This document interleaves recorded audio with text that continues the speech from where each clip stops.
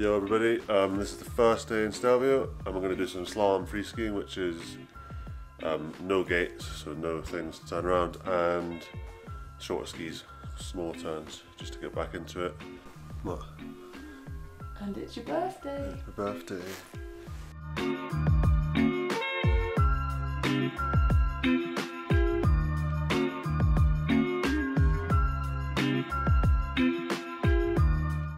First day up, um, pretty snowy, it's not normally this snowy, last year it was pretty rocky, so that's good. We're just doing some drills, no, no course yet. Just trying to wake up a bit, brush the cobwebs off and get back into it. I'm doing some drills just to stay over the centre of the ski because I often get caught sort of further back, so stay tall over to the bounce right over to the middle of the ski.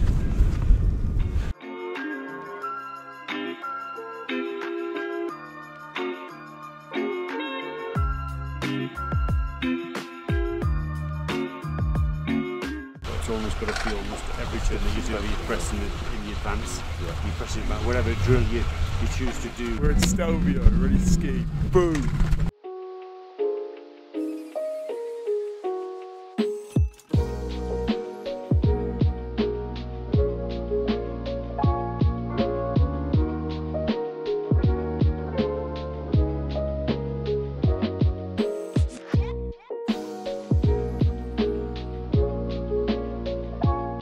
I'm just working on trying to stay over the middle of my ski, like I said earlier.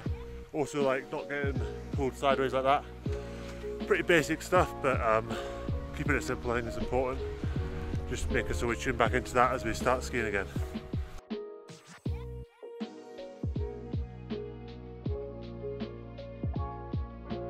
Welcome back to Fall-Liners TV. David Christie is here with me today. David, what are we doing now and why are we doing it? We've moved on to some stubbies for the second half of the session just to warm up a bit for after a few weeks off. Um, I've got rid of my poles, some balance, and we're just yeah getting sharper. And then the gates tomorrow in the rain, I think. Big Bosh. Back to you in the studio. Back to us.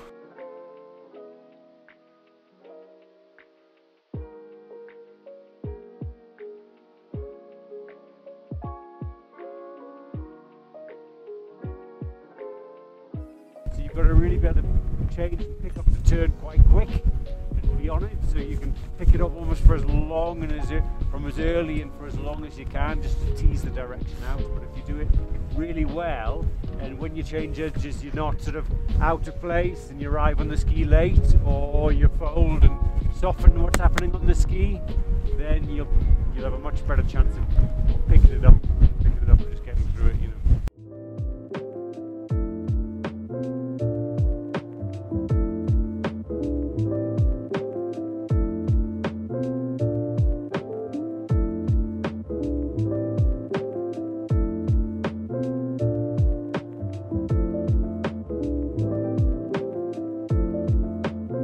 got a new setup with this camera, you can see it in the reflection. Look at that little fluffy thing there. It stops the wind. It's like a, it's called a dead cat.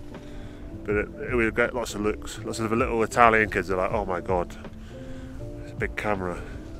Who is this man? Who is this man that's vlogging? I'm very too close here. This is not making the edit, I don't think. But look at that. Look at the new fluffy thing and the new professional camera. We're going places in the world.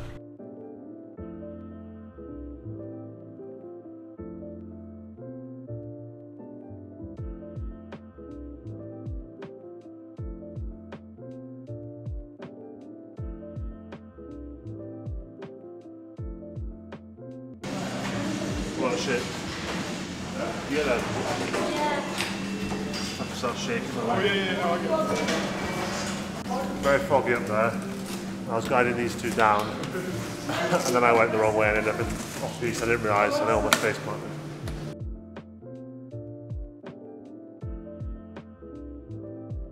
Aldi's finest thermals, 17 pounds. Bargains at Aldi.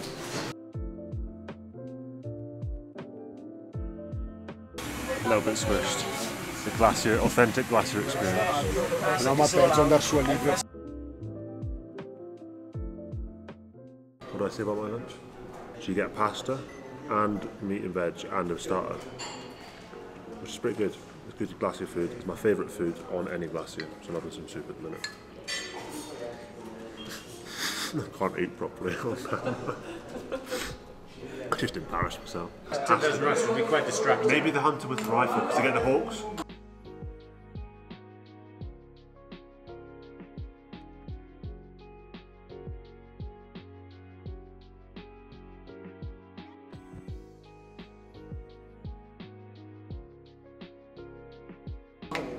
Depends what like is he got like a proper because if he could shoot the bears, it's on. If he could shoot the bears and the crocodiles, it's on.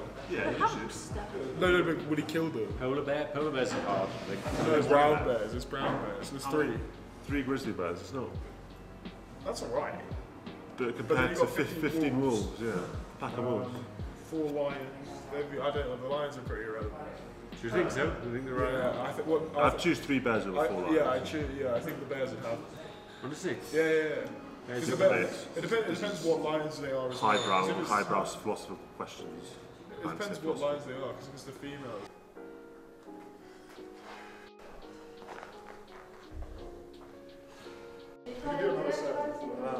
Teddy side. Yeah.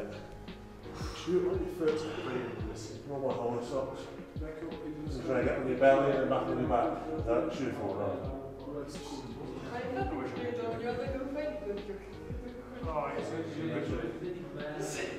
Sempre di mettere 24 ore su cazzo Hello. So that is the end of the first day in Stelvio. Um, yeah, my birthday. It's a pretty good way to spend your birthday. Um, doesn't get much better than that. I got some trousers. I'm going to show you this one actually. Can't see it, it's dark. I've got some trousers. They're like chef's trousers. I think they're pretty cool, but let me know if you think they're cool or not. I'm sure they're pretty out there. Um, yeah, had dinner. Got a there was cake at the buffet, so everyone sang me happy birthday and gave me like a slice of cake, which was very nice of them. Um, yeah, end of the day, tired, gonna have a sleep now, and do it all again tomorrow. We're doing ski slalom gates tomorrow, exciting. Tune in for that. Are the trousers cool or not? What do we think, people? Can you see them? Ooh. I can cook. Um, I mean, baked beans on toast. Very British thing to say.